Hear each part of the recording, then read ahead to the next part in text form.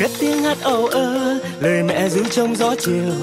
Ước muốn mai này con trai cao lớn thông minh như chàng. Nhưng khi con lớn lên, lại nghe cha không về nữa.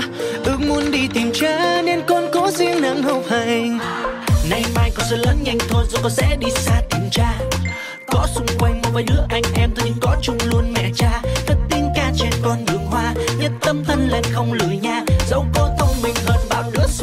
chơi vẫn xin năng học nha. Thắp sáng đêm nay, từng đàn đom đóm đó bay soi cho chẳng học thi suốt đêm thâu.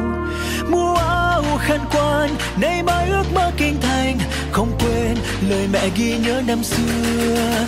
Chàng thông minh, sáng láng với tài năng, xứng đáng, nhưng chỉ ra